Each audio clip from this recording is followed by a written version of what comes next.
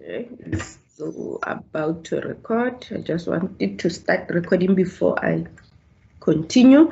Okay, it is recording.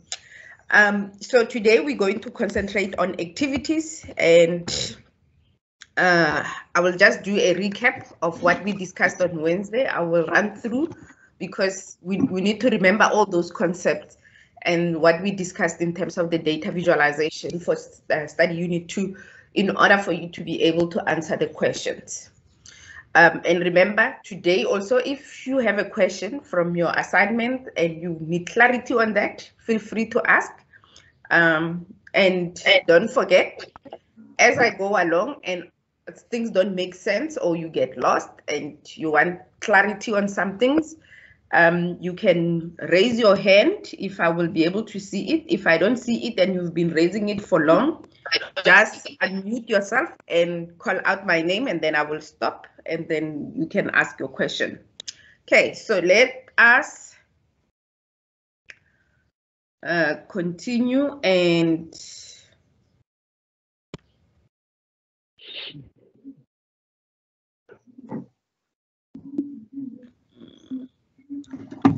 let's uh, please also remember always when you join the meeting to always mute yourself uh, because it creates echo and sometimes it disturbs other people can hear.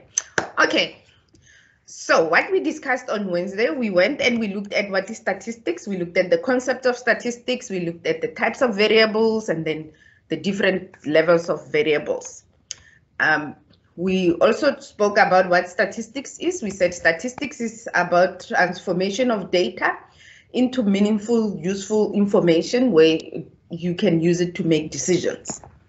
And I'm not going to go into why we study statistics. We know we study statistics to to solve um, problems, and and we also know that a lot of um, uh, businesses or government are using statistics to make those decisions. We we we also looked at some of the examples that we uh, that statistics are used in in this day and age uh, in terms of the coronavirus, in terms of the election and the weather. We also spoke about two branches of statistics. We said there is a descriptive statistic and also there is a inferential statistics. And we describe what descriptive statistics is all about. It's about describing the data in terms of tables, charts, um, and summarization of that information. We also spoke about what inferential statistics is all about.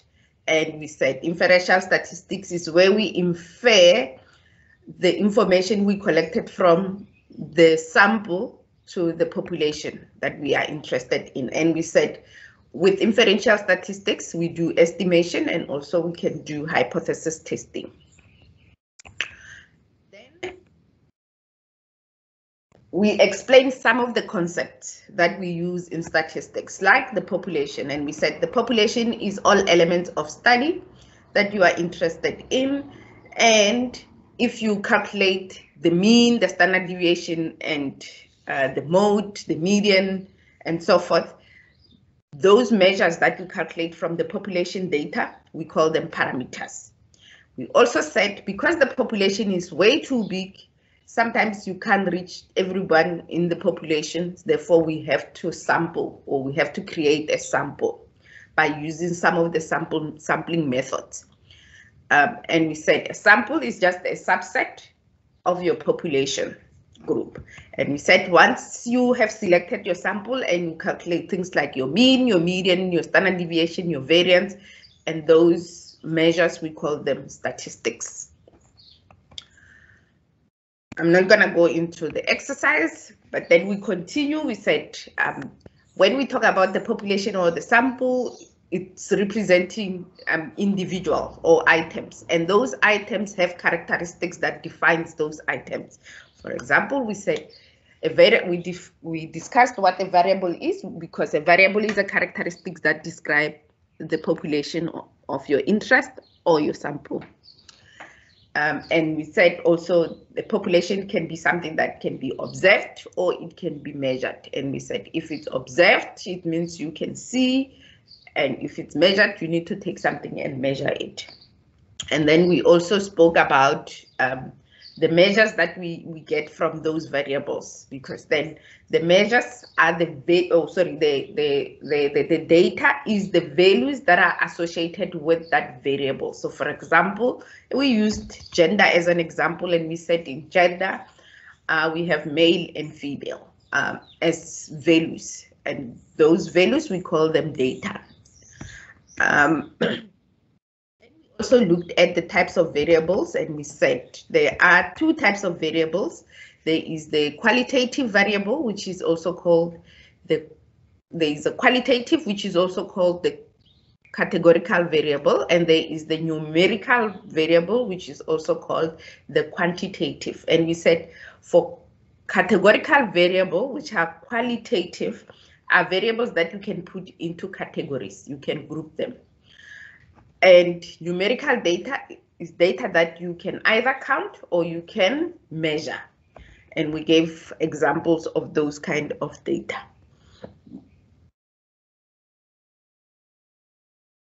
Then we also defined the levels of measurement or the scales of measurement. And we said in terms of the levels of measurement, because they classify the types of variables that you have in terms of uh, in terms of the four scales. Um, and we said uh, all categorical data set um, variables, all categorical variables have the lowest level and all numerical variables have the highest level because you do lots of you can do a lot of other manipulation of those information. So we said nominal is the lowest and ratio is the highest level um, of measurement. Then we describe what each level of measurement is, and we said nominal is for categorical data, and there is no order, there is no logical order or natural order, and you cannot use it for any comparison. And then we also looked at um, ordinal data, uh, which is also a categorical data, and with ordinal data, there is a natural or logical order. And we also defined what an interval is. We said interval comes from a quantitative data or numerical data.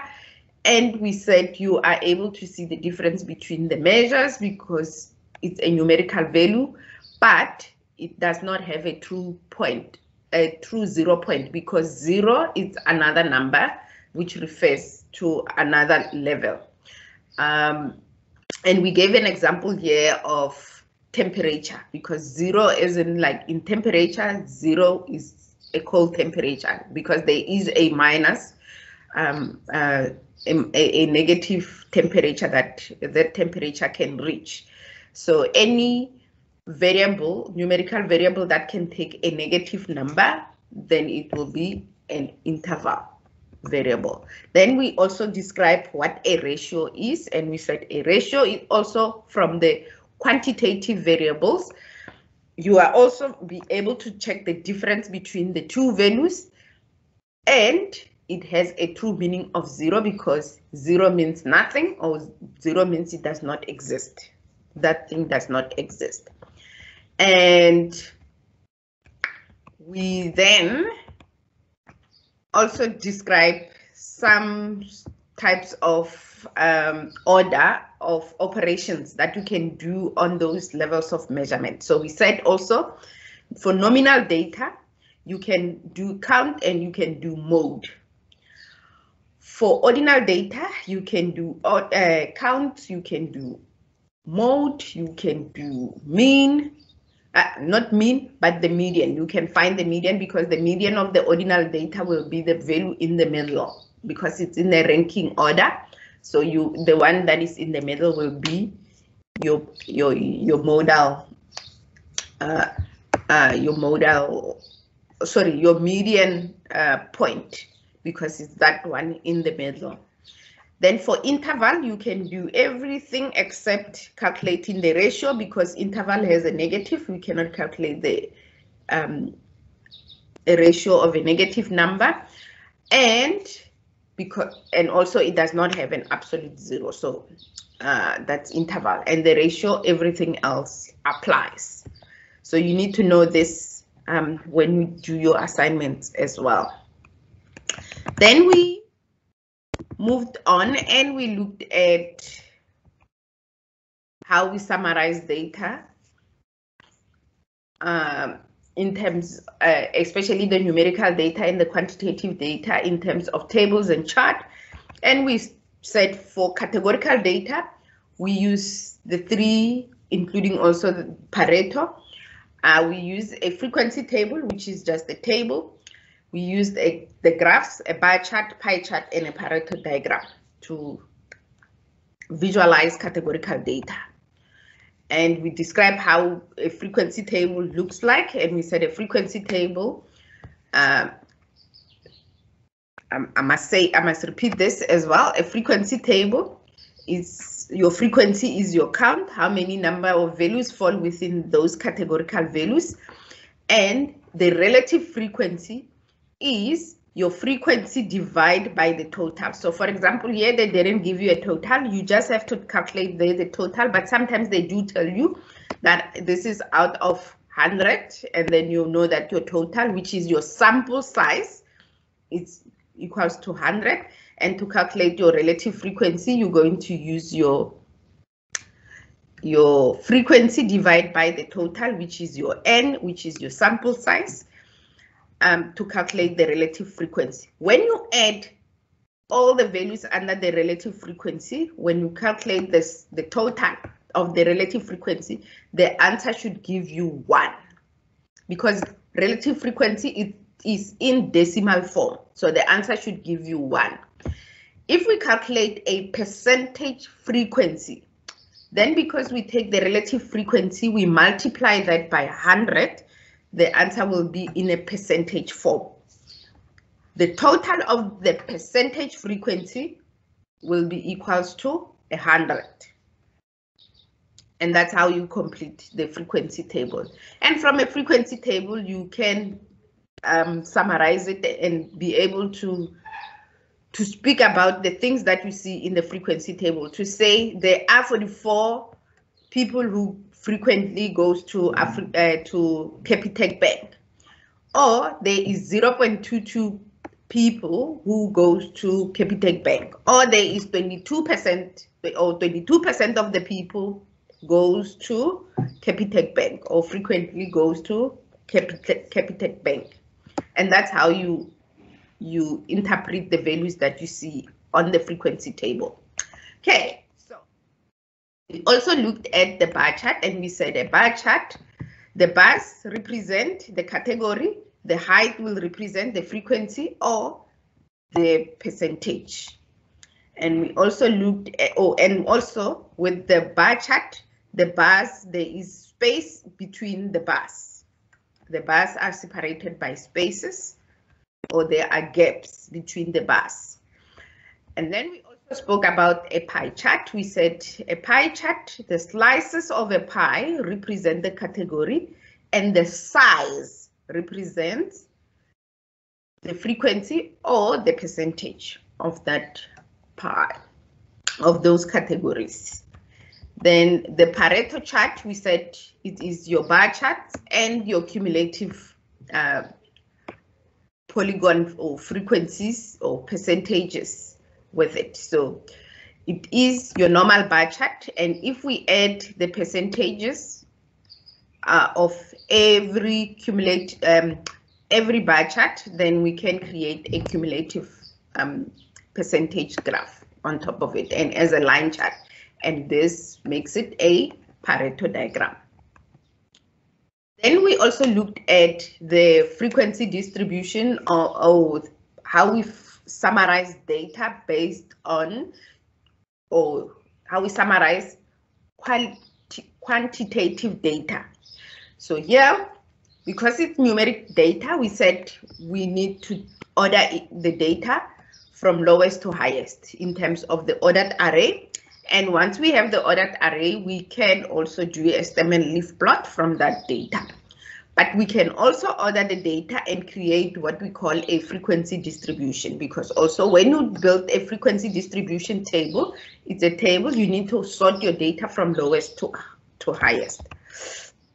And with that frequency distribution table, it create you can create after you have created that you can um, summarize the data in terms of visualizing it in um, as a graph as a histogram, a polygon, and ogive. And we ended up doing uh, only the frequency, or we did the stem and leaf and the frequency distribution table. And today we will continue from where we left off. So just to summarize what we did also in terms of this, we said an ordered array means ordering the data in terms of from lowest to highest value.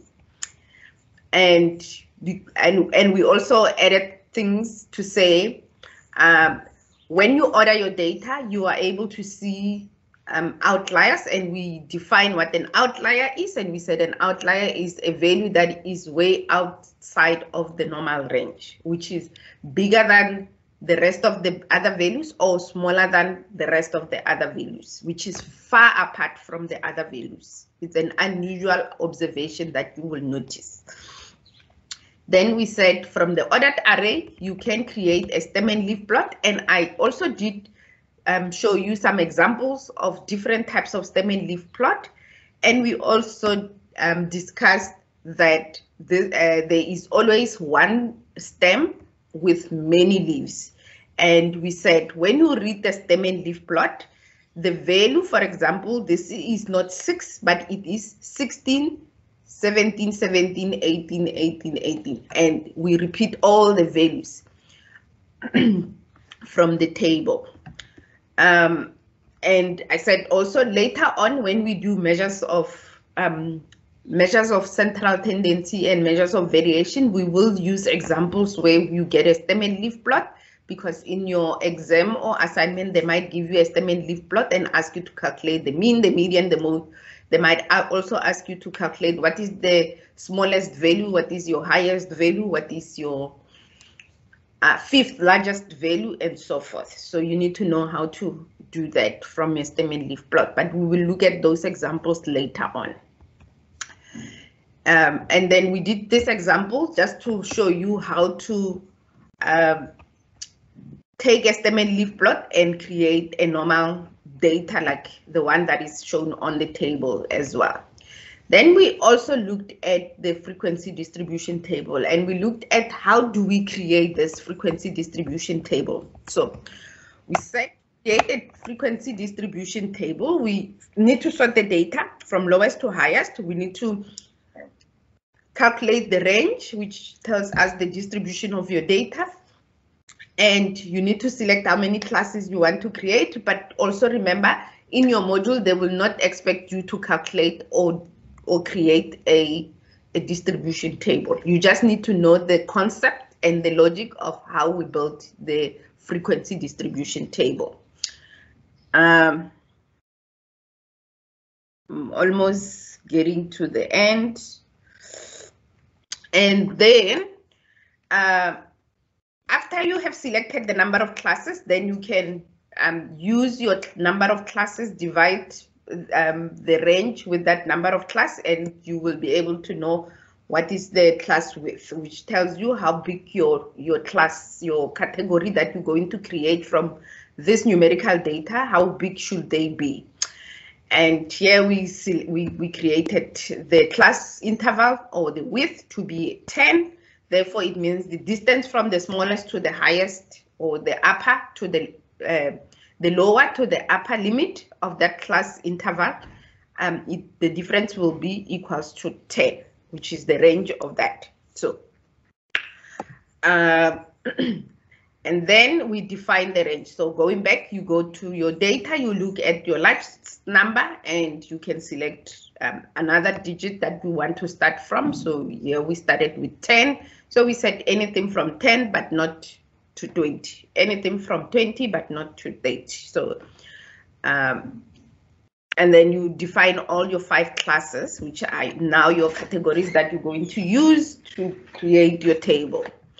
And then once you have defined your classes, then you can assign the observations that falls within those classes. And we said you assign them by counting how many there are, which will be your frequency, by saying how many of those ones that falls between 10 but not um, uh, 10 but not more than 20 and then you start counting there are one two three and then you say your frequency is three and you do for the rest of them. And then you add all of them they should give you 20 because we know that we using a sample of 20 days so the total of the frequency should be the same as the total that they have given you as a sample. To calculate the percentage um, frequency, we say uh, the frequency divided by 20, it will give us, so 3 divided by 20 gives us 15, 6 divided by 20 gives us 30, and when we add all the frequency um, uh, the percentage frequencies should give us 100 because it's 100%. If they would have asked you to calculate the relative frequency, remember that relative frequency is uh, your frequency divided by 20 without multiplying it by 100, it will be a decimal.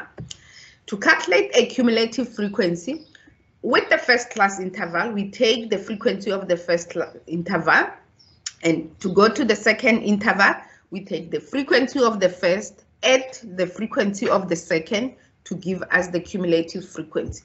Because with this value of 9, we say we want to know all the days that had, um, all the winter days that had temperature of less than 30, regardless of whether they were in the first class or in the second class. So any temp any day that had a temperature of less than 30. So there were nine of them because there are three that had 10 to 20 and there are six that had 20 to 30. So there are nine and you go on and complete the whole. So for example, when you get to 14, it will be um, 9 plus 5 gives us 14. And the cumulative percent, oh, sorry, the cumulative frequency when you get to the last class interval, the value of the last class interval should be equivalent or should be equal to your total frequency count. And then the cumulative frequency percentage, um, it's uh, your cumulative frequency divided by your total frequency. Sorry. So it will be 3 divided by 20 will give us 15 9 divided by 20 will give us 45. 14 divided by 20 will give us 70. And the last one will give you 100% because it's 20 divided by 20, which is 100%.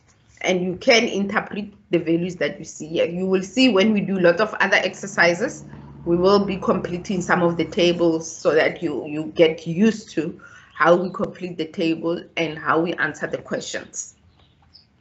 Okay, so once we have, now we move on from where we left off. Once we once we have created a um, a frequency distribution table, then we can create what we call a histogram, which is just a bar chart that takes the frequency distribution and put it into bars. So a frequency, a histogram, because we use the class intervals, so your bars of your your histogram will be represented by your will be represented by your class intervals. So the bars are represented by the class intervals. And the height will be represented, the height can be represented by either the frequency, the relative frequency, or the percentage of a histogram. So 10, but not less than 20. So that is 10 because this is the midpoint 5. So this one will be 10, this one will be 20, this one will be 30, 40, 50. And with the histogram, you will notice that there are no gaps because when one interval starts and end, the other one starts and it will end. And where the other one starts, it means the previous one ended at that and the new one starts. So there are no gaps on a histogram.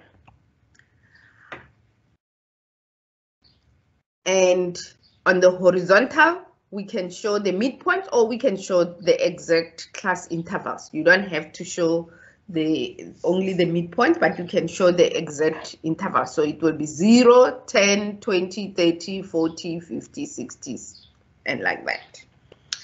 Okay, and then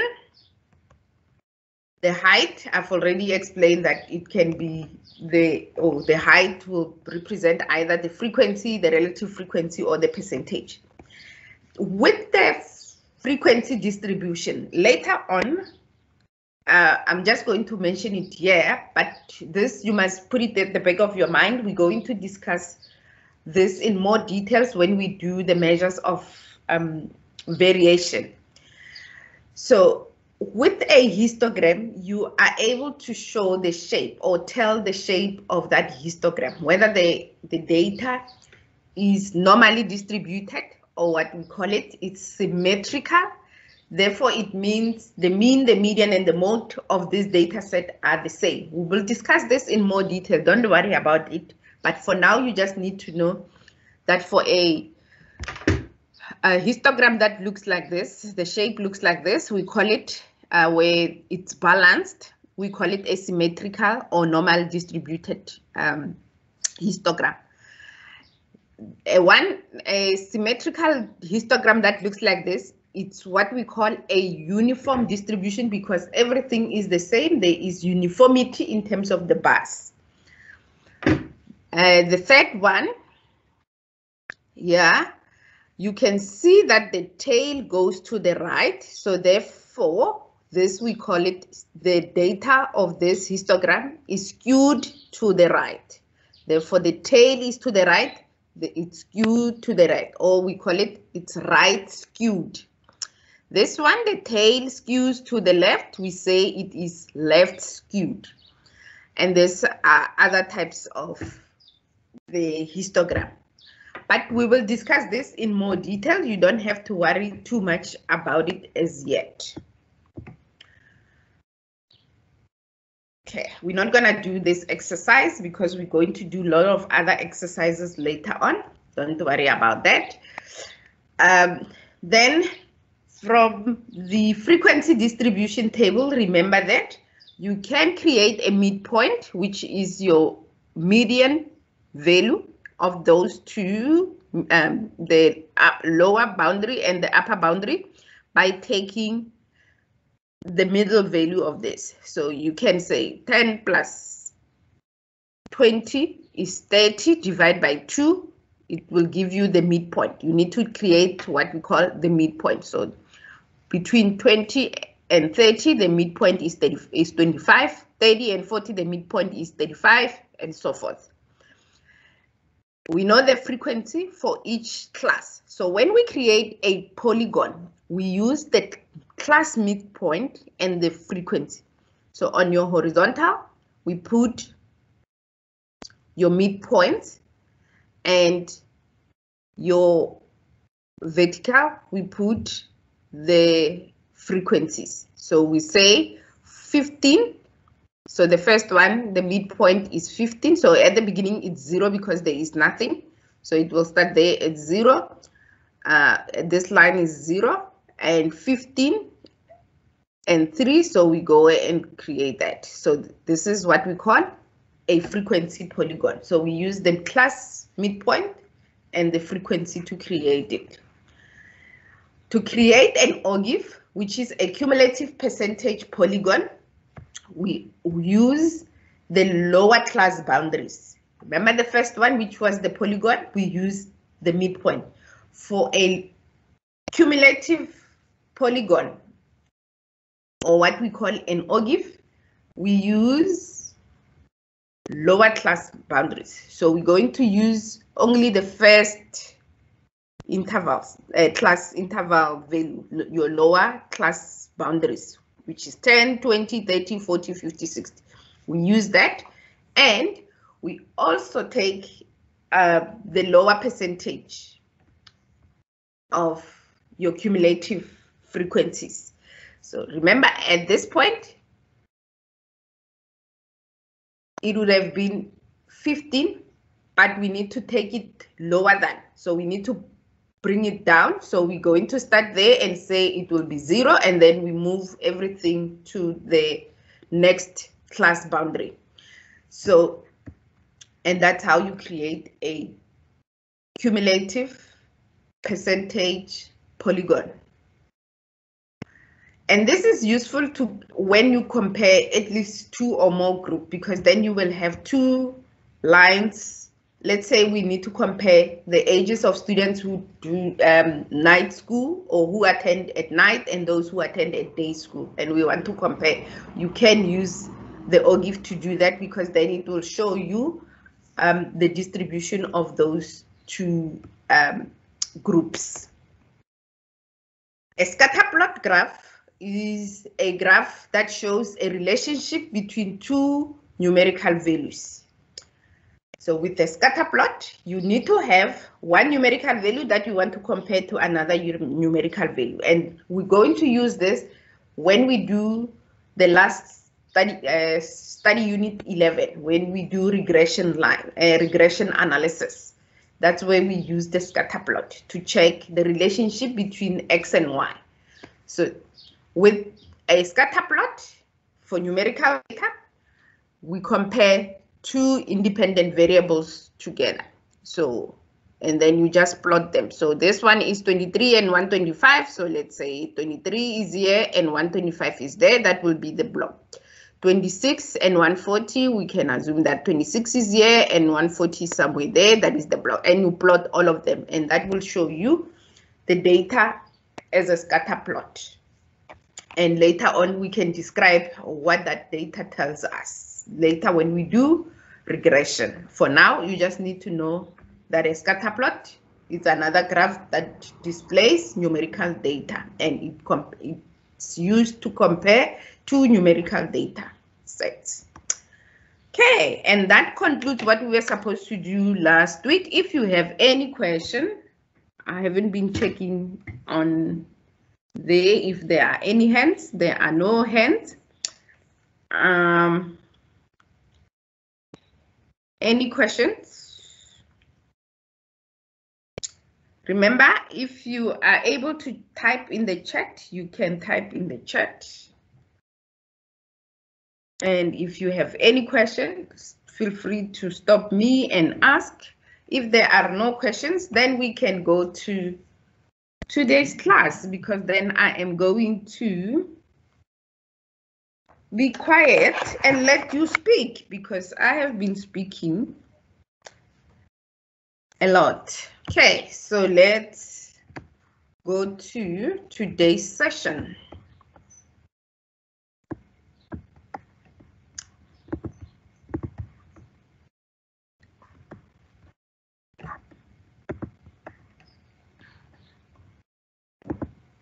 I need to share my entire screen for this purpose. Um, because I want to. Okay, so please, um, I need to know how many people are able to are able to type in the chat as well. So please try and, and and put as many comments there in the chat so that I can see how many people are able to, to comment.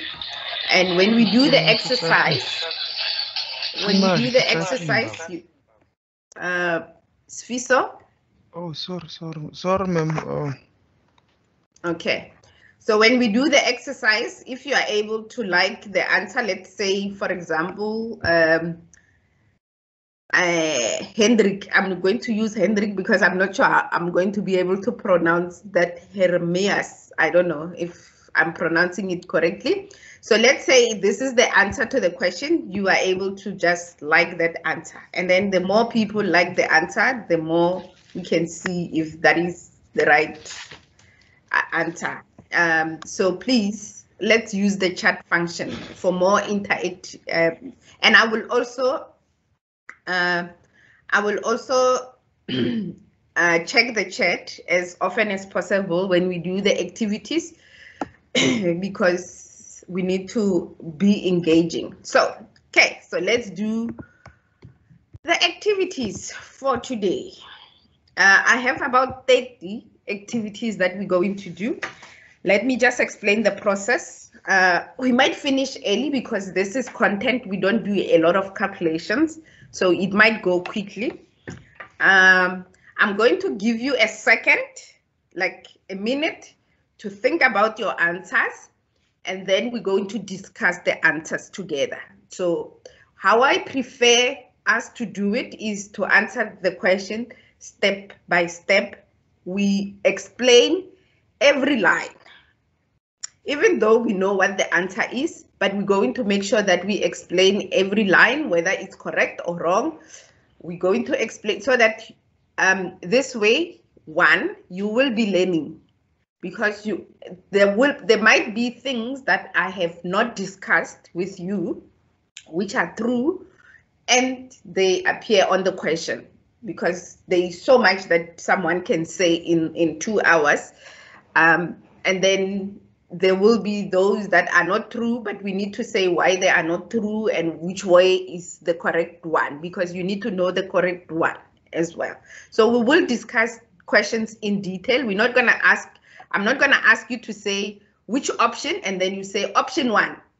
So the options you can put on the chat. On chat, you can say it's option one, the answer, or it's option two. And then when we discuss, we go into details. Ne? I will show you the first two questions that we do, and then the rest of them, then you're going to do it your own, like yourself. So I will just be writing what you are saying. Um, I'm not going to be talking a lot. I will come in when I need to clarify things that are not said or I need to add more to what somebody else has said. Ne? Are we in agreement? And this is where everybody unmute and say yes. So yes. Thank you. Yes. Uh, yes. I want yes. yes. This is the kind of session yes. I want. I want people to talk to me. Yes. Okay, so let's do this. Okay, your first exercise. Complete the following sentence. Is mm, mm, is a statistical method that draws conclusions about the mm based on the mm computed from the mm. So think about it. If you are able to write on the chat, think about it, type on the chat the answer. Uh, like say it's option A, option B, option D. You don't have to unmute as yet. Then when we come to uh, discussing this question, we're going to answer the question together.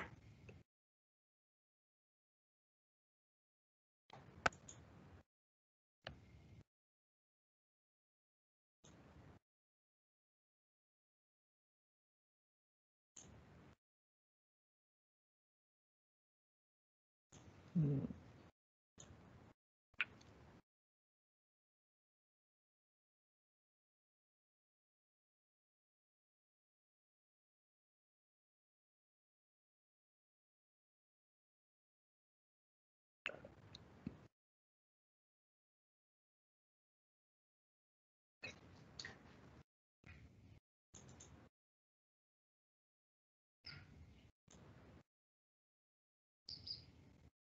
Okay, have we thought about it? So let's try and complete the sentence. Who wants to try? Uh, hi, it's Tommy here. Yes, let's complete the sentence. Uh, descriptive statistics is a statistical method that draws conclusion about the population based on the statistics computed from the sample.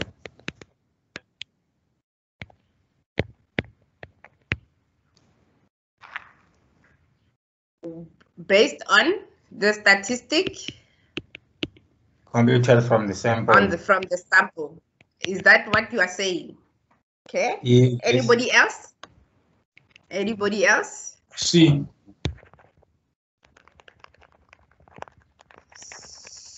So the answer. Complete the sentence.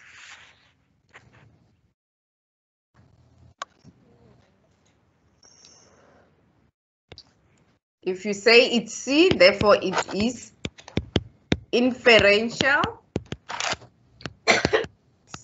Statistics is a math is a statistical method that draws conclusions about the population based on statistics statistics computed from a sample because we use inferential statistics to infer the information we collected and summarized from the sample back to the population. Whereas descriptive statistics, we describe either the population or we describe the sample.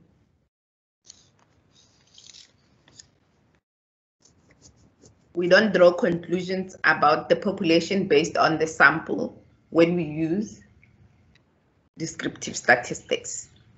And A and B would have been incorrect. So those two, the answer is C. Okay. Yep. Another moment. Which of the following is not the goal of a descriptive statistic?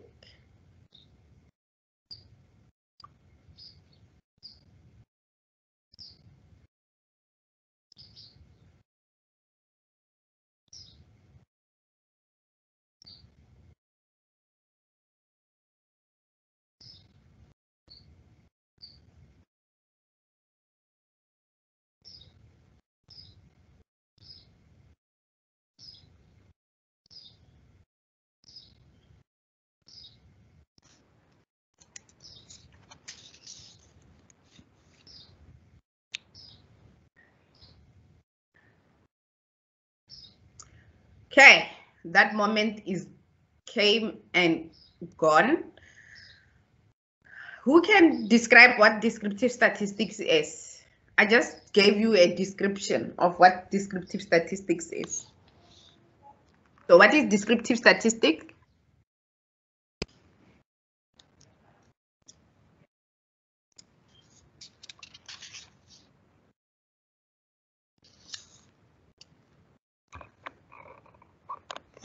No one?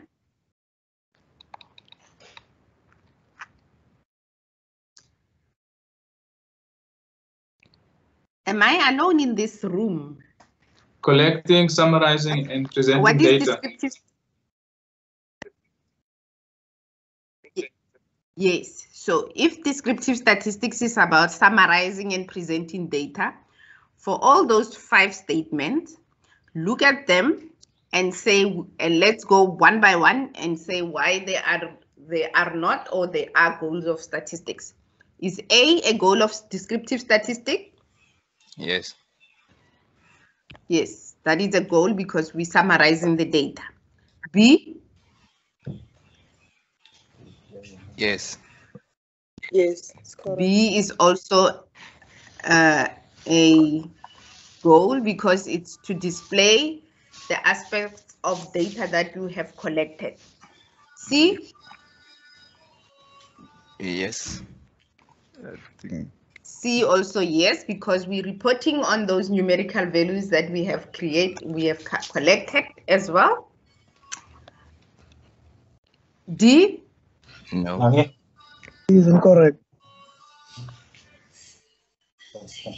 It's inference. D says we are estimating. Estimating, which So is therefore, incorrect. D will be the answer that we are looking for because we're looking for not the goal of a descriptive statistic. So because we are estimating, then it means it is incorrect. This is a goal of an inferential statistic. E, presentation of the data in a form of tables, charts, summary statistics is a goal of descriptive statistic.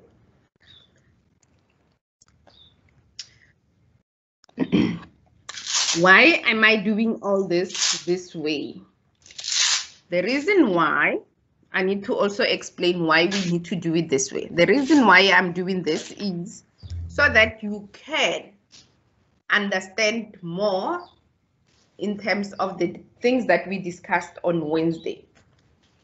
The other thing, since you're not writing the exam, you are still studying, you are in a studying process. When you answer questions, try and go through each and every statement and ask yourself with regards to that statement, whether is it true or false and why is it not true, based on the knowledge that you have. And if you are unsure about that statement, put a question mark on it and then come back to it later on once you have exhausted all your options. And you can use your study guide, you can use Google, you can use anything to check that answer out. There is nothing that stops you from using any other resources because this is not an exam. You are right, you are doing your assignments, you are studying. So use as many resources that you have at your disposal. Do not rely on people giving you answers that you don't know how they got there. So try and do the answers yourself. Okay. Let's move on. Which one of the following statement is incorrect with regards to a statistic? Take a moment to think about it. Remember those who are able to, to type in the chat, you can type your answer and everybody else who is able to interact on the chat, if they agree with your answer, they can like it. If they disagree with your answer, they can type their own answer and people can agree with their own with the other answer. Let's be interactive.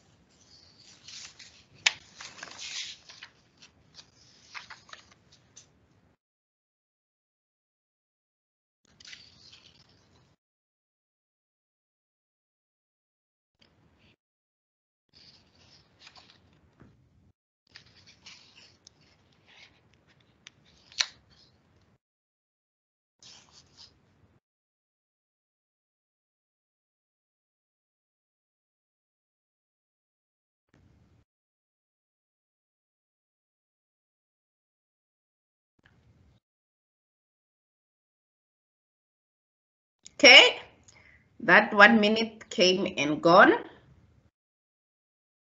Okay.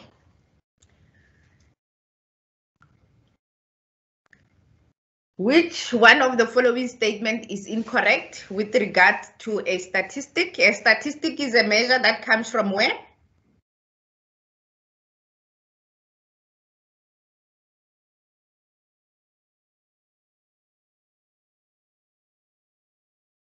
From the population. Anybody else? From, from a sample, A statistic is a, pop, a, a measure that comes from a sample. Remember that. So if we know about that, so number A, and remember the measures are like your mean, your median, your standard deviation, your mode, and so forth. So number A, a sample standard deviation is a statistic. Is that correct? Correct. That is correct. A statistic is an estimate of a population parameter. That is incorrect.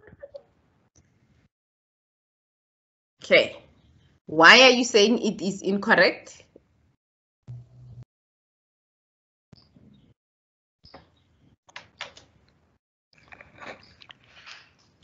Let's go back here. I think B. Let's go back here. Here we said inferential statistics is about drawing conclusion about population based on statistics that are computed from a sample.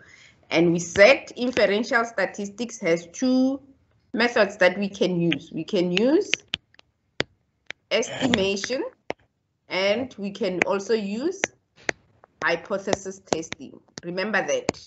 That's what we discussed in the first class. So coming back here.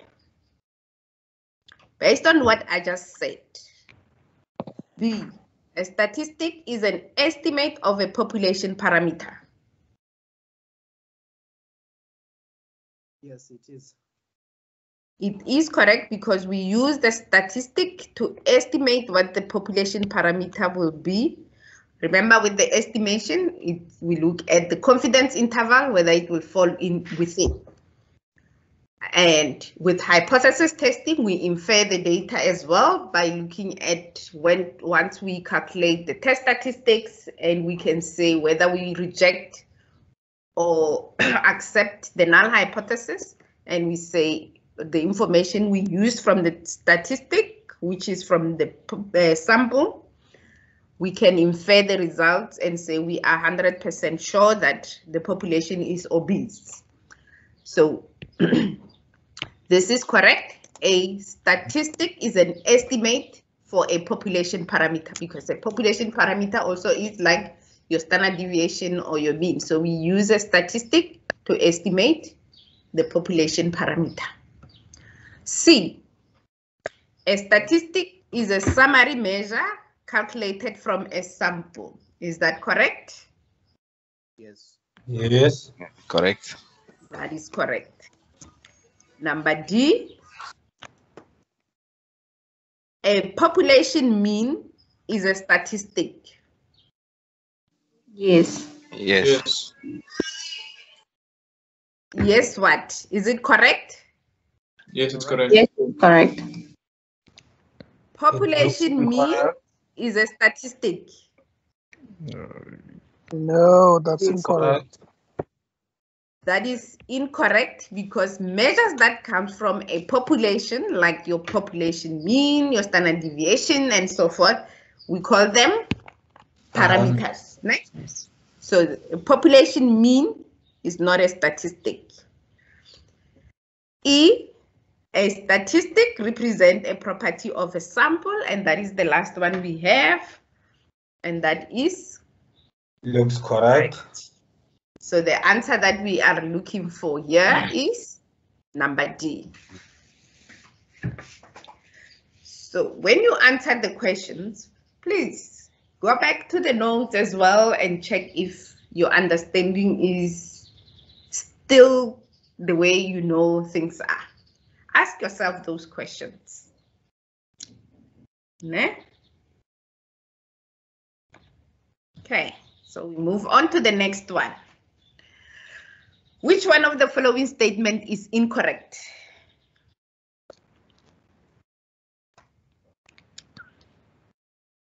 A variable is a characteristic of an item. Oh, sorry, I'm jumping the gun. I'm giving you a minute to look at every statement.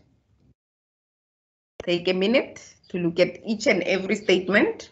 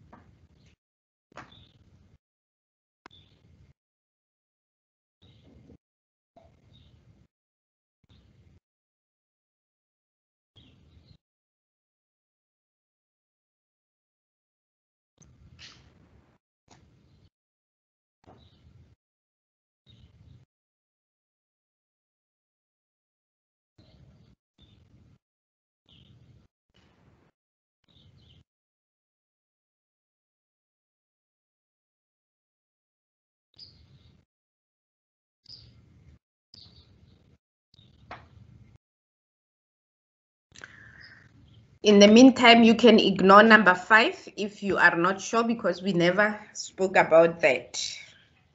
But if you know how to answer that, you can still use it in your answer. So we'll answer it just now. I will explain it just now. Okay, so your one minute gone. Let's go. Option one, a variable is a characteristic of an item or individual being measured. Is that correct? Yes. yes. Correct. Yes, that is correct. This is correct because a variable is a characteristics that define an item whether observed or measured. And in this instance, they're telling us about the measured one. Number two, a sample is a portion is a portion of a population selected for an analysis. Is this correct? Yes, it's correct. Looks Correct. Correct. Yes, it is correct because it is a portion or a subset. So this is correct. Number three, in a pie chart, the size of a segment varies according to the percentage of each category. So the pies, the size of your pies or the segments varies, sorry, according to the percentage of each category. Is that correct?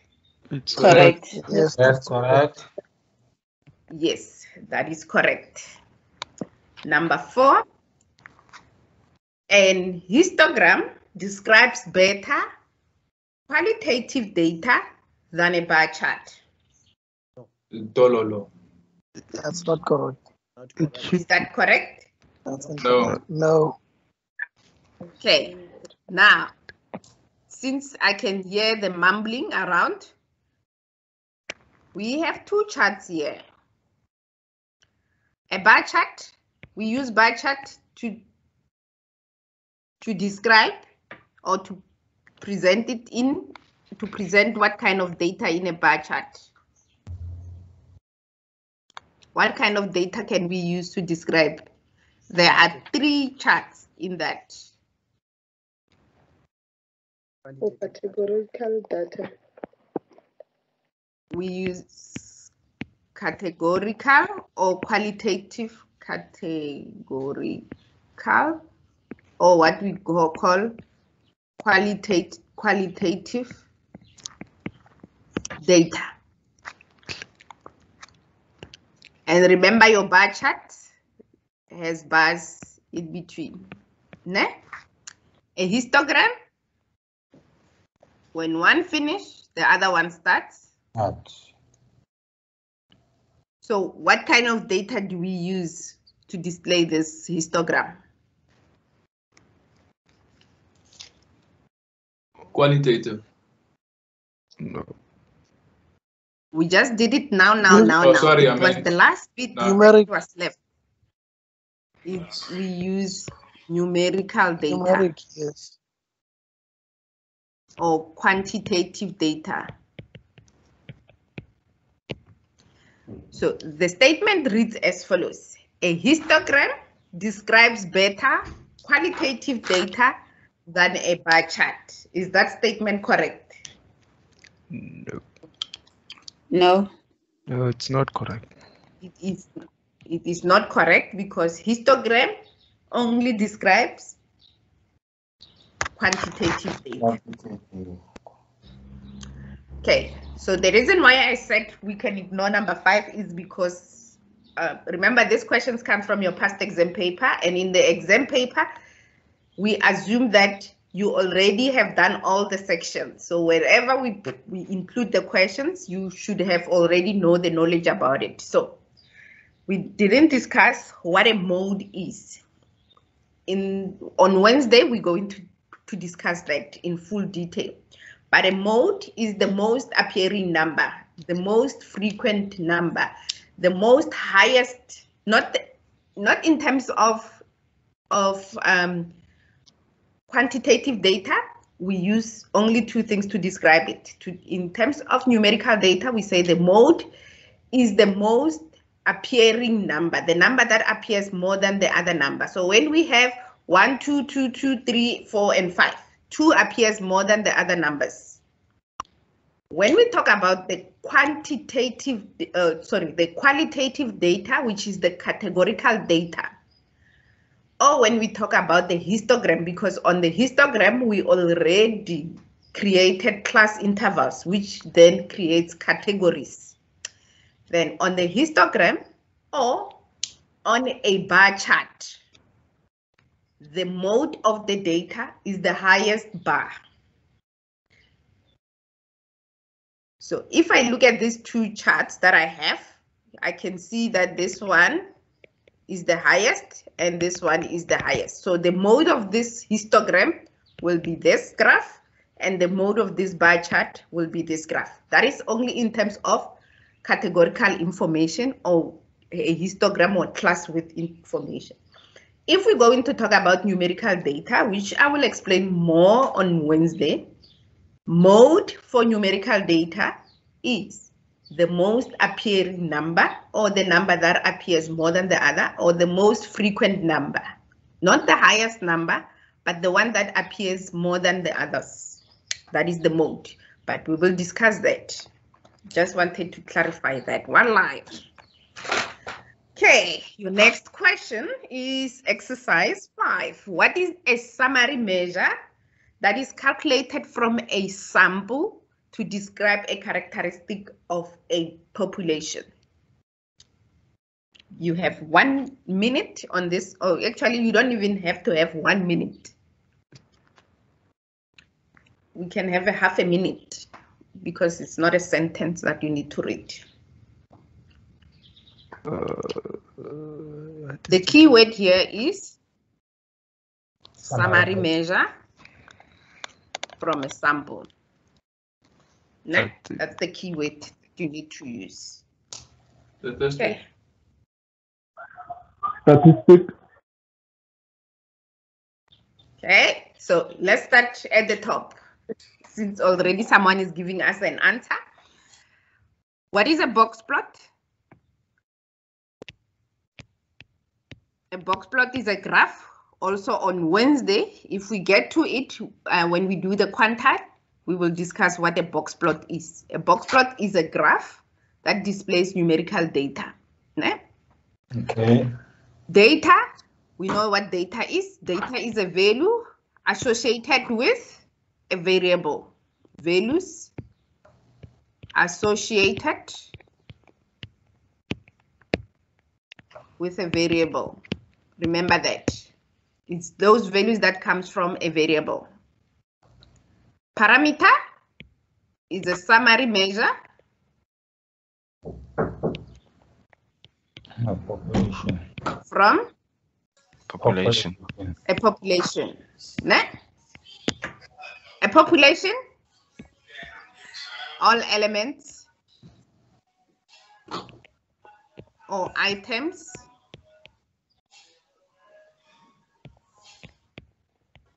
of study.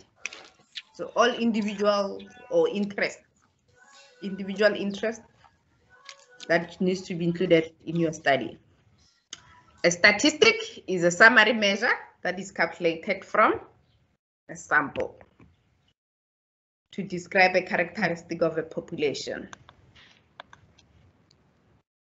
And that is number five.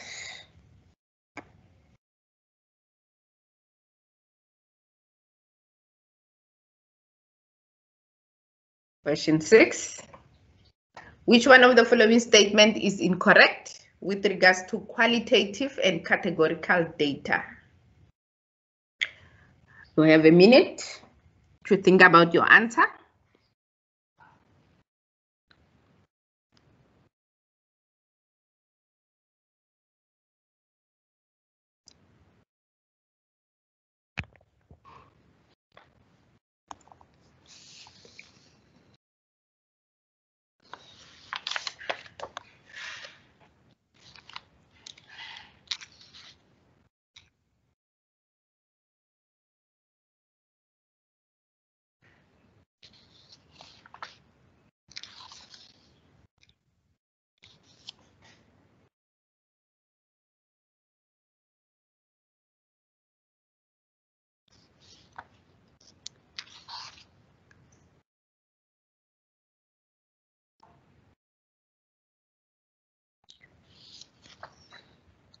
Okay. Remember the last slide uh, on the scales of measurement, the one that describes the order? This will be relevant for it. So let's start with number one. Which one of the following statement is incorrect with regards to qualitative or categorical data? Number one, categorical data is measured on an ordinal or nominal scale. Is that correct? Yes, it's correct. That is correct. The frequency or the count of each element can be determined. Is that correct? Yes. Yes, it's correct. It is correct because with qualitative and or categorical data, we can count the elements because once they are in the category, we can say how many they are, they fall into the category. So we can determine that. Can we find the mode? Yes. Yes, we can. I just explained, but I use the bar chart. Remember, a bar chart is just a, tape, a, a graph that shows the categorical data. I use the bar chart and I describe what the mode is not so long ago. So can we describe the mode? Can we determine the mode of a categorical data? Yes, we can. Yeah. Yes, we can, because if we look at this bar chart, this highest bar is what we call the mode.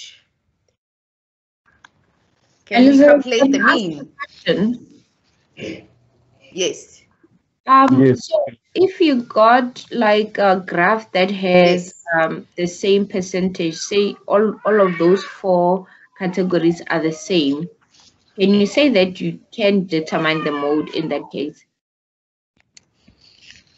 so let's say you mean like this. Yes. Yes, you can determine the mode because in this instance, there is no mode. We can still find the mode. So when we do chap when we do measures of central location, we will discuss what the mode is. They even with numerical data, you can find the one mode, no mode, two modes, three modes, or multiple modes. You Oh. can find those. So the uh.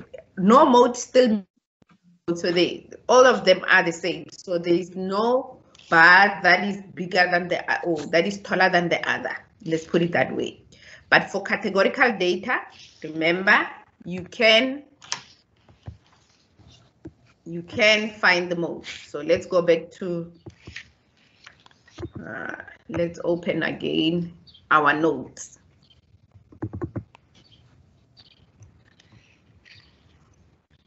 And all these notes are posted. The one that we are using today in class, I just emailed it before the class.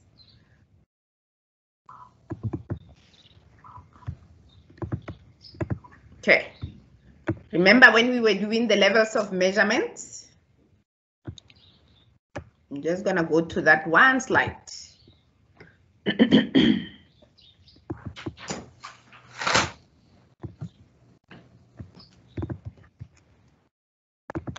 Remember this? For categorical data, it's nominal and ordinal. We can find the mode. For a ordinal, we can find the median, but we cannot find the mean. Remember this, ne?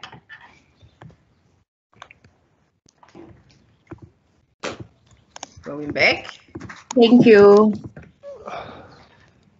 I just gave you the answer to the last one. So we know that this is correct, this is correct, this is correct.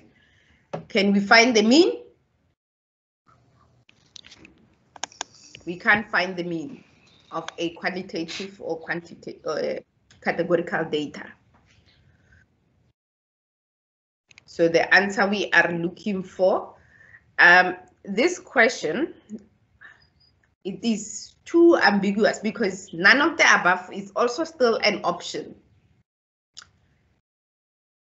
And in this instance, is still incorrect because if you get statements like this in an exam, I feel for you, but you can apply your logic in terms of this. And ignore num number five and only use the other statement. So none of the above would have been if none of them are true, then uh, this is also correct because it says none of the above. But we know that this one is incorrect. So it cannot be none of the above. So this statement, very confusing at times.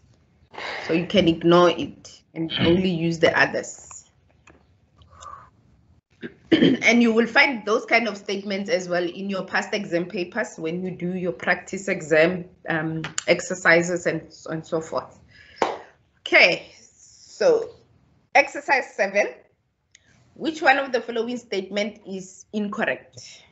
I will give you a moment here as well because it seems like it's too much Il me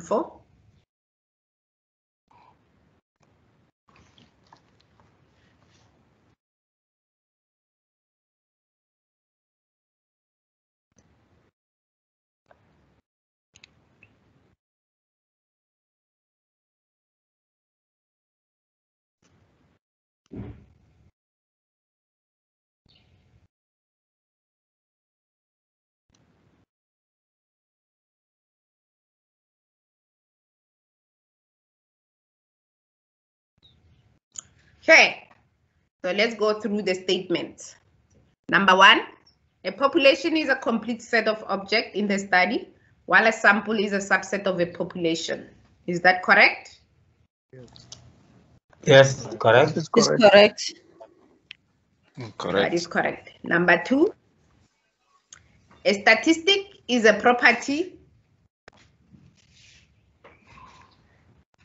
A statistic is a property of a population, while a parameter is a property of a sample. Is that correct? Incorrect. That is incorrect because a statistic is a property of a sample and a parameter is a property of Population. of a population. Therefore, it means the rest of the other statements will be correct. Data from a sample, because we're looking for the incorrect one and we found it. So therefore, data from a sample are in a form of either a numerical categorical. We know that a variable can either be one of those. So that will be correct. Quantitative data are numeric and can either be uh, those that are numeric can either be discrete or continuous. They are discrete Okay, if we count, because they can be count, counted, and continuous when they are measured. So, and qualitative data are categorical data and they can use labels to identify the attributes. Yeah, that's correct correct. Okay.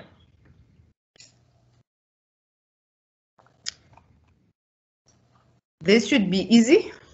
Which one of the following variable is not a categorical variable?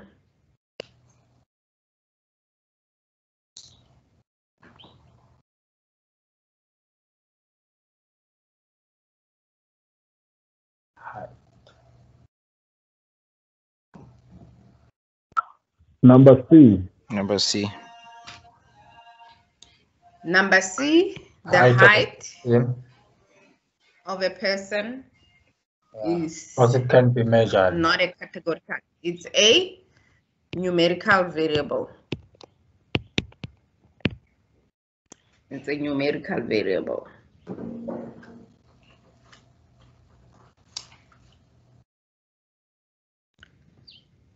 Okay.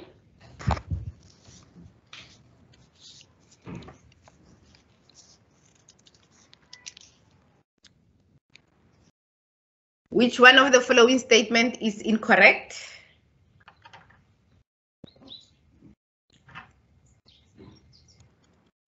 Lizzy, Yes. are you saying which one is correct or incorrect? Oh, sorry. Which one is correct? Uh, correct. Sorry. Thanks. I've been talking about incorrect all the time, and then I'm assuming also this one says incorrect.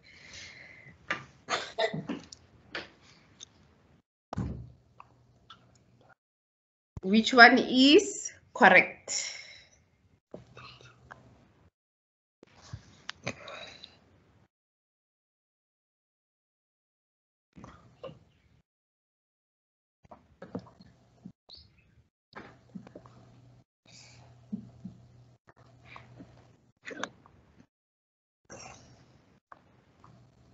Number one is correct. Number one is correct. Marital, gender, marital status, religion are example of qualitative ordinal variable. What are qualitative ordinal variables? These are categorical variable that can be placed in order. Is gender, marital status, and religion can are they ordinal?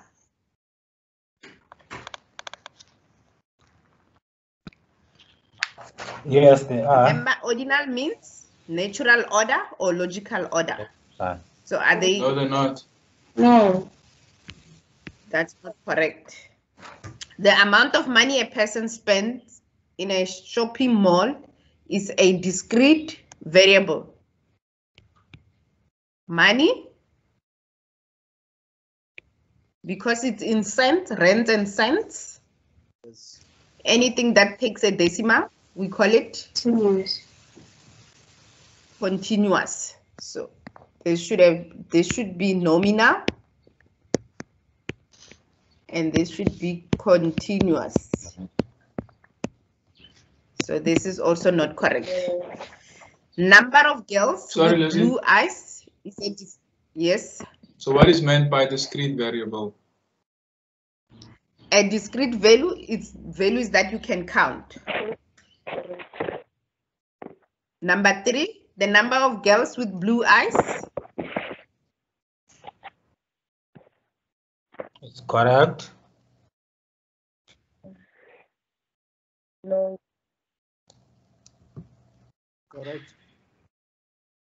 It's a discrete variable. Now, here is another one. The number one, the position one finishes in a race is a discrete variable.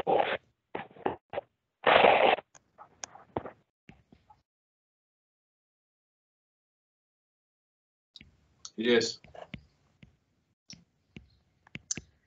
Remember, position, you come first, second, third. Is ranking. So it cannot it cannot be a numerical. Discrete are for numerical variables. Remember that. So this should be a categorical variable. The number of times a mouse makes a wrong turn in a laboratory.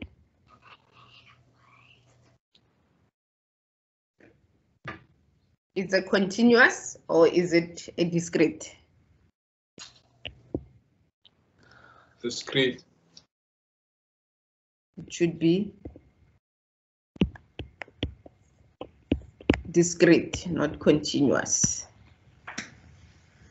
So the only answer which is correct is number three.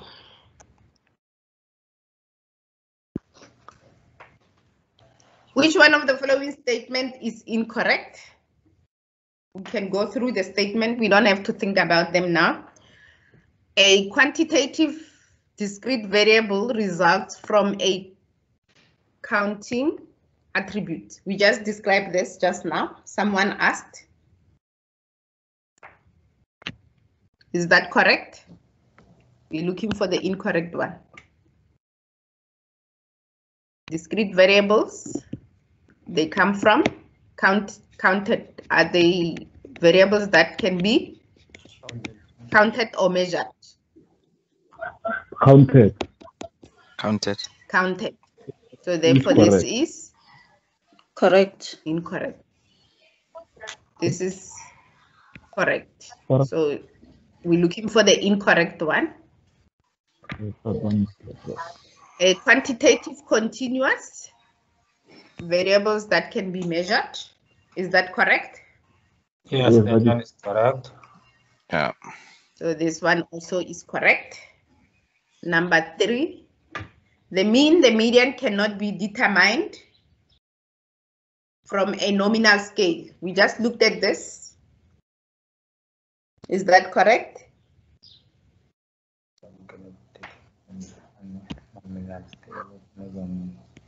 Nominal scale was the first one. It's nominal, then ordinal. Yeah. What can we what what can we determine from a nominal? We can determine the frequency and we can only determine the mode. So therefore it means we cannot determine the mean and the median. So this one also is correct. Uh, correct. Or if you stay lost, you can keep that and we can go there to refresh your minds.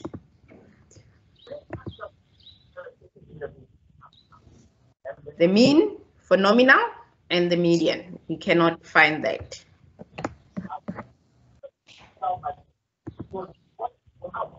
Okay. The last one, an ordinal scale is a higher level of measurement than an interval scale. Incorrect. Correct. That is correct. That one is the answer we are looking for, is the incorrect answer. Number 11, consider the following variables.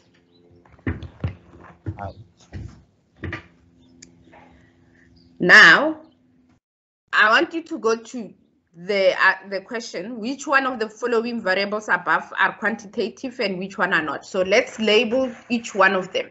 Height of either a tall or short. Is this a quantitative or qualitative? Because they give us the description here in terms of this height. Quantitative. Quantitative. or Qualitative.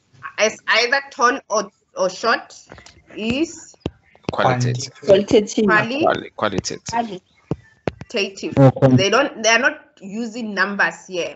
It's either Oh. ca- it's categories, tall or short. So it's categorical, which is quanti qualitative. Your status as either full time or part time. Qualitative. Qualitative. Is it Qualitative. qualitative or quantitative? Qualitative. It's also Qualitative. quali qualitative.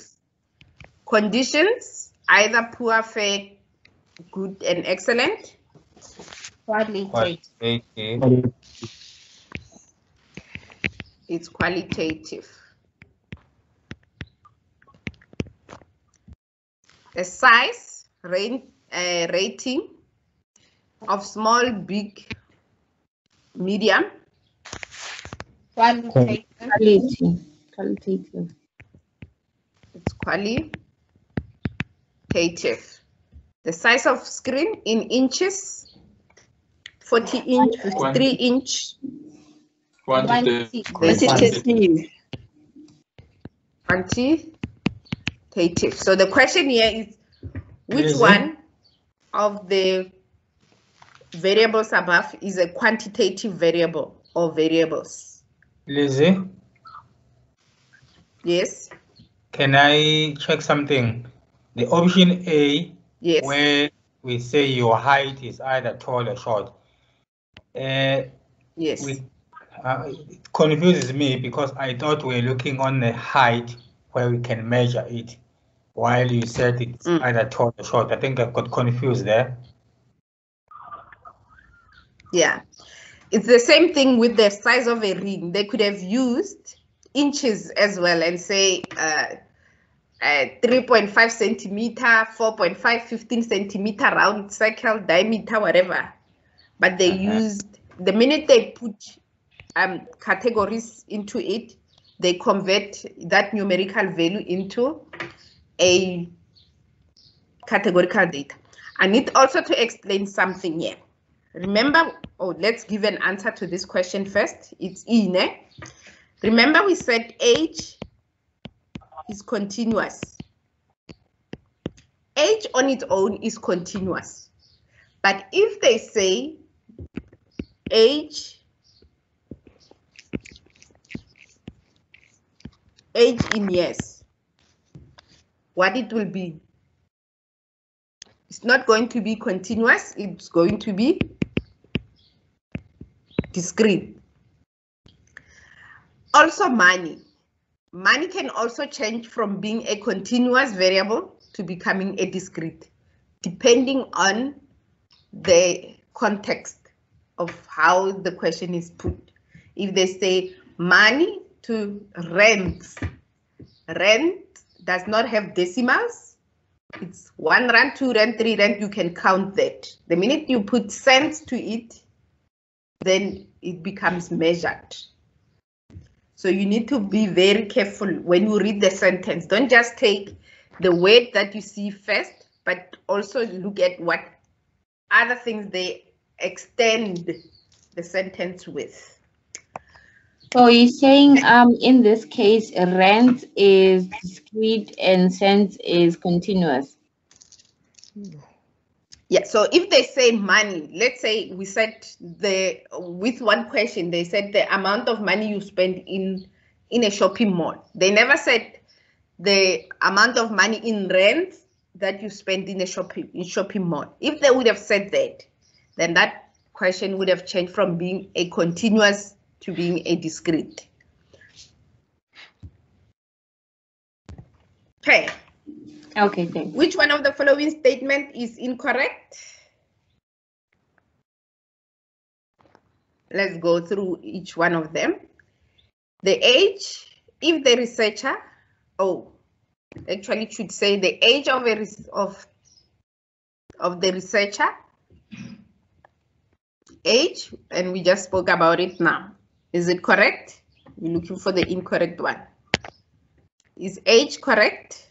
Is it a quantitative continuous variable? Yes, it is. Oh, sorry. That is correct. The salary of the researcher? Is it quantitative continuous variable? Yes, it is. Yes, it is. Gender of a researcher? Is it quant qualitative nominal? Nominal means there is no order or logical order or natural Yes. order. Yes. Is that correct? That is Correct. correct. Yes. The, the position of junior, mid-level, senior of a researcher? Incorrect. Ordinal. This is incorrect because It is order. be ordinal. I'm not going to go to none of the above one as well because you remember the same thing that we discussed. And I, I expect for all the questions that are going to come now, you can just ignore the none of the above. The appropriate graphical form to summarize the categorical data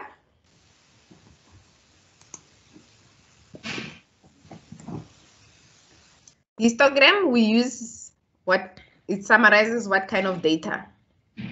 Quantitative. yes it summarizes quantitative or numerical data. Scatter plot. These are the last charts that we did. Scatter plot it looks at two numerical values. So this also looks at numerical values because a scatter plot remember is that one where i have the age here and i have income here that is a scatter plot graph a bar chart if i can remind you a bar chart looks like this Qualitative. Yeah, it's categorical.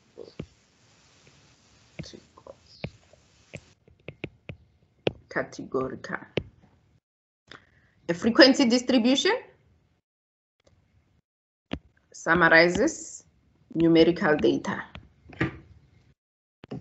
So the answer we are looking for is C.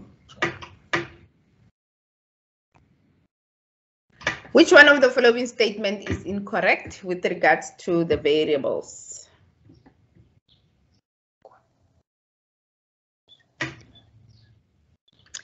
Quantitative variables uses labels or names to describe attributes of elements. It's incorrect. That is incorrect.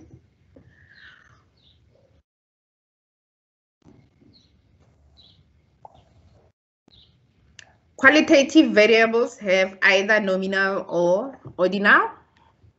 That is correct. That is correct. Variables can be classified as categorical or numerical. That is correct.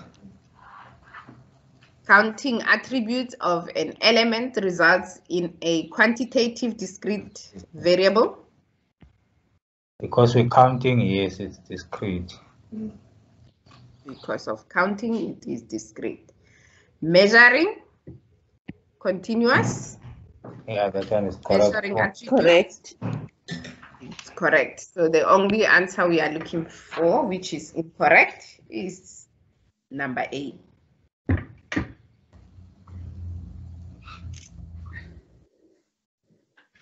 Okay. I'm not going to read the whole paragraph. Which one of the following statement is incorrect with regards to types of variables? The name of school requiring tra learner transport. The name of school, is it nominal? Requiring learner transport is a qualitative nominal variable. Remember, nominal means order. So names of schools, I think that one is correct. That will be correct because there is no order in terms of the, the, the schools that requires transport. The distance from the learner's home to school.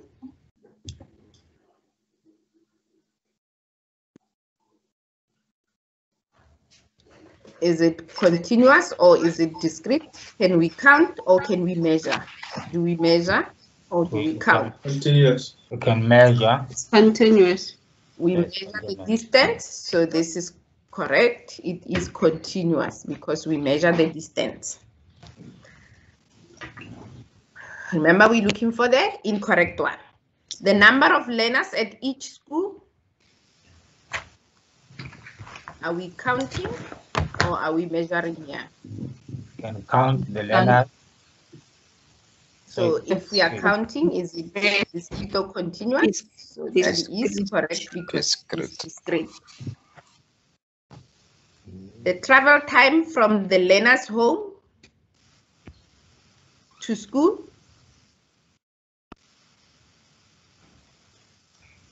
Do we count time or do we measure time using a clock? You measure time. We measure time. We measure time. So Okay, so that if one- we measure, Incorrect. we we Continuous. continuous. So this is the incorrect one. The levels of school as primary and junior and high is ordinal, which this will be correct. Okay, give it a table with a sample of 500 of people living with autism in South Africa, which one of the following statement is incorrect? The sample refers to 500 people. Is that correct? Yes, Correct. Correct, correct. because it is given there. given, yeah. We're looking for the incorrect one. eh? A population refers to everyone living in uh, living with ASD in South Africa. That's correct. Correct. This is correct because the population will be everybody that the sample is is taken from. So the sample is of 500 people living with autism disease or ASD in South Africa. So that will everybody with ASD in South Africa will be the population of interest. The age of a diagnosis is a variable. A variable is a characteristics that describe the population or the sample.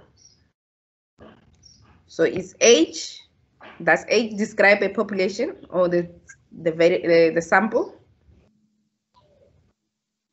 Hmm.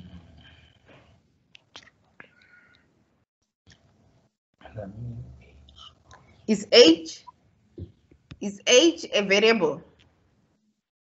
Think about gender.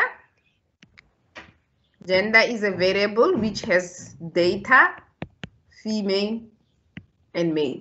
Think about age. So this is a variable and this is data. What is age? It should be a variable. Variable.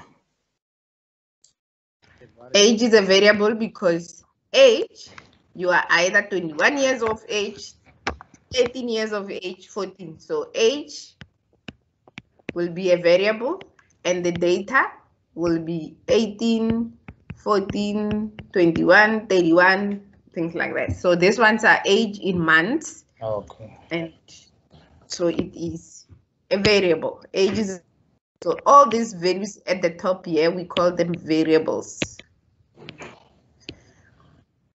All these values here inside, we call them data. So age is a variable. The mean age of a diagnosis calculated from the sample is a parameter. That's incorrect. Incorrect. Is that correct? No. Incorrect. is incorrect. It Must be should be, We it must be just said statistics. Oh, okay. It should be a statistic, not a parameter. We left with almost 12 minutes. Consider the graphical methods A to D below. The question that we're going to answer is which graphical methods are the most appropriate for a quantitative data? So let's look at each one of them before we go to the option. A bar chart, is it quantitative or qualitative data? Qualitative. It's qualitative data.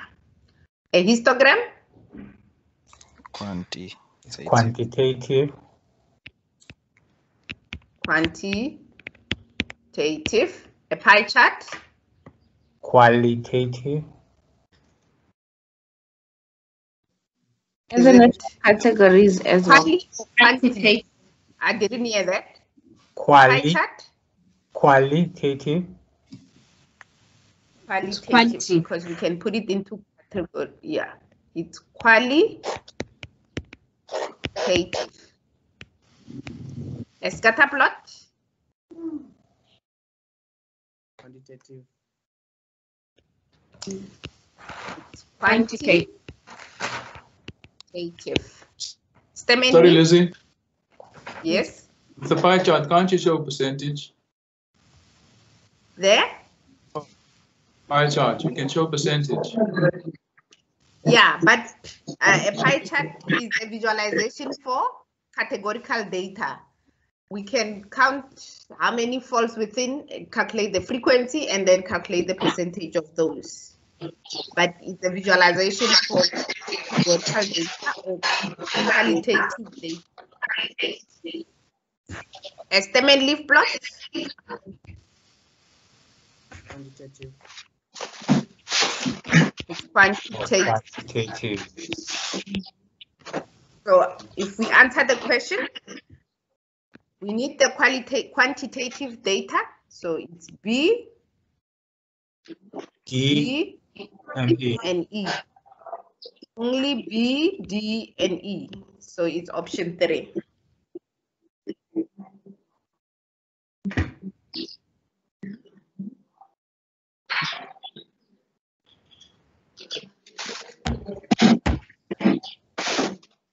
Which one of the following statement is incorrect with regards to tabular method of summarizing the data? So here you need to think about frequency tables. You need to think about frequency distribution tables because they're not saying which one in terms of either the categorical or Oh, numerical. So they say for summarizing tabular method, for summarizing the data. Remember, frequency table is made up of frequency distributions, relative frequency distribution, um, percentages, uh, percentage frequency distribution, and so forth.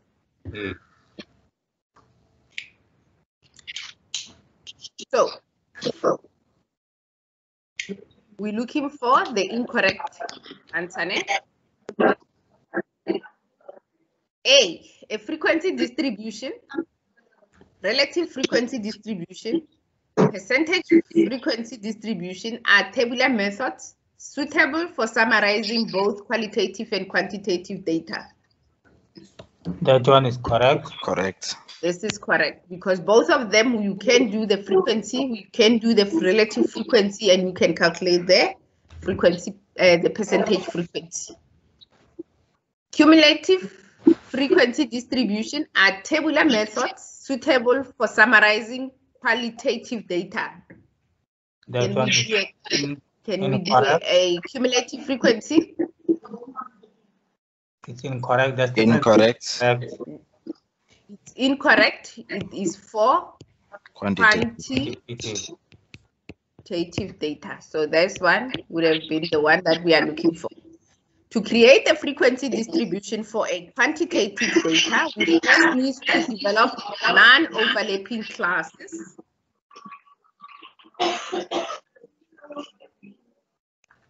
Um, I just need to check. I'm going to just mute a little bit. I'm not sure which one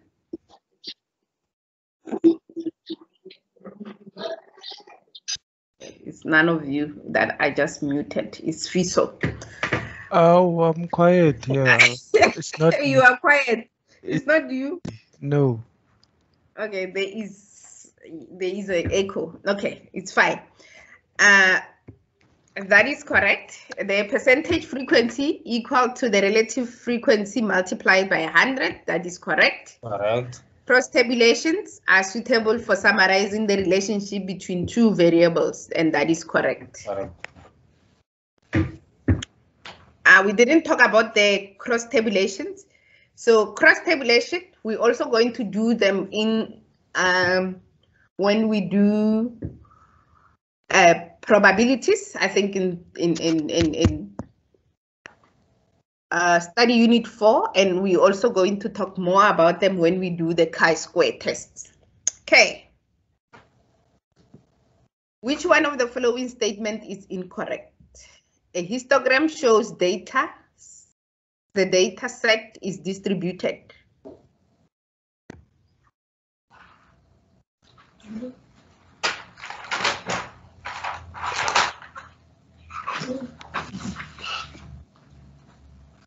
Remember, a histogram can show the shape, right? So wonder why this one. So a histogram shows the date, the distribution of the data. That's correct. Correct. Okay. Yes.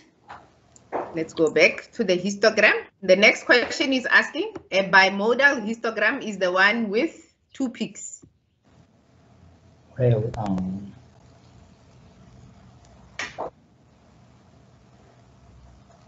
Yes, it's correct. Okay. correct. That is correct. If a histogram has a long tail extending to the left, it is a positively skewed. I didn't talk about positive and negative skewed. I spoke only about the right and the left. So let's assume here is zero, and let's assume here is zero. Any value this side will be Negative. Negative. Any value this side will be Positive. Positive. positive. Ne? Yes. Going back to our question. If a histogram has a tail extending to the left, it is positively skewed. So let's go back to our diagram. Incorrect. Left, it Correct, means to say it is negatively.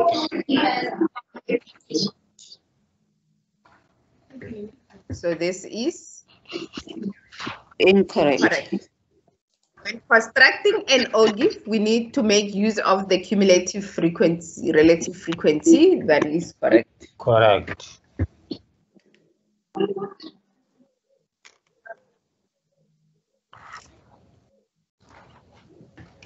Consider the following frequency distribution table with the sample of 50 grade 7 learners.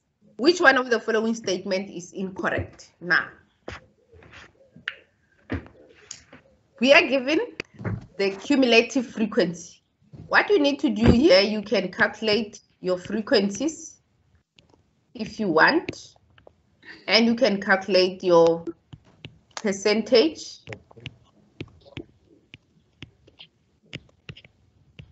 Frequencies because that's what they need. Frequency and you can also find your relative frequency and all that. But if you have your frequencies you will know what what's happening there what is the relative frequency uh, sorry what is the frequency for the first one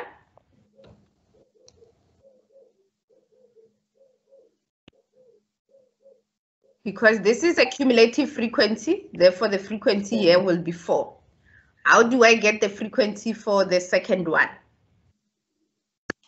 I must say 17 minus 4. You need to have your calculators. 13. 13. One three. What is the fre- what is the frequency for the next one? 42 minus 17. So you need to subtract the one above, the one above. It's twenty-five. all the time. 25, 48 minus 42, Six. Six. Six. Six. 50 minus 48 Two. Two. is 2. If you add all of them, they should give you 50, né? because the, the last cumulative frequency here is 50, so it must also be 50. So what will be the relative frequency? Let's start with the relative frequency. Yeah, let's do that. Let's say we're going to split this into two. This one will be relative frequency is 4 divided by 50. I'm going to say 4 divided by 50. Five. Zero comma Zero, zero eight. zero eight. Uh, it's 2 o'clock.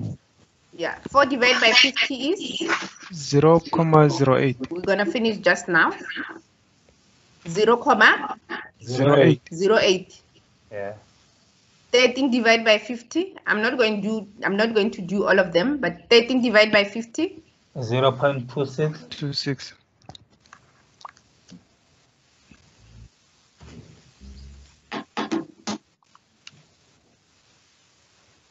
I didn't hear that. Zero point two six.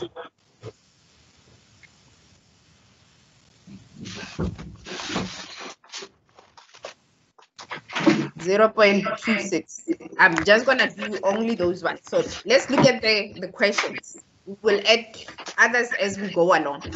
But you get the you get the understanding behind everything that I wanted to do here. Yeah. Yeah. Um, uh, what is the frequency of classes between six and eight? Six to to eight. So you go to six to eight. You look for the frequency. Okay. What is the frequency? It's four. It's four. So therefore, this is correct. The relative frequency of nine to eleven. You come to the relative frequency column and you go to nine to eleven. which is 9 to 11, the relative frequency is Zero point two. 0.26. 0.26. It's That correct. is correct. The percentage frequency of class 12 to 14, so you need to go to 12 to 14, uh, which is 25. You need to go and say 25 Uh, Zero divide comma by five.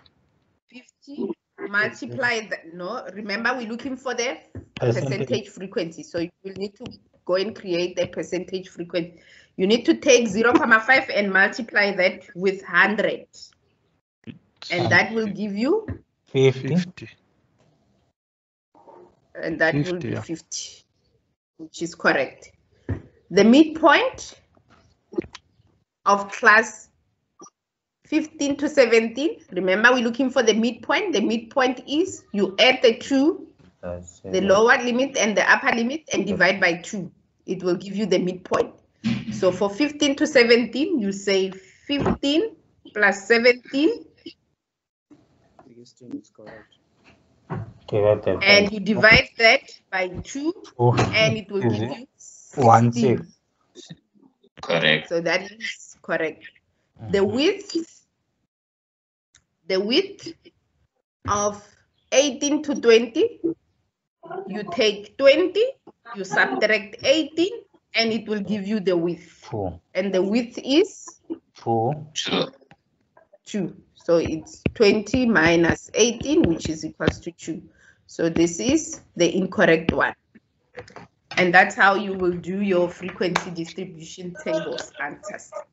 Um, anyway, apart from all these things that I have, there are so many other questions, but you will see that they almost look exactly the same. So I had, I was hoping that we will get to this one where we can complete this question and then answer the questions. So we don't have to do that. You can do it on your own and we can discuss it on WhatsApp. Don't worry about it. We have the WhatsApp group to discuss all the other questions, like question number 22, uh, not 22, from 21 until question 30. So they 23.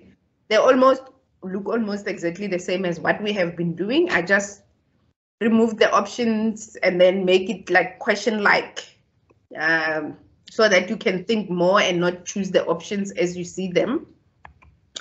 Then there is also question 24 that you can go through, question 25, 26, 27, and 28, and And with that, so all those eight questions that are left, we can discuss them on WhatsApp or we can discuss them on on my UNISA. Before we before you go, I just wanted to show you on my UNISA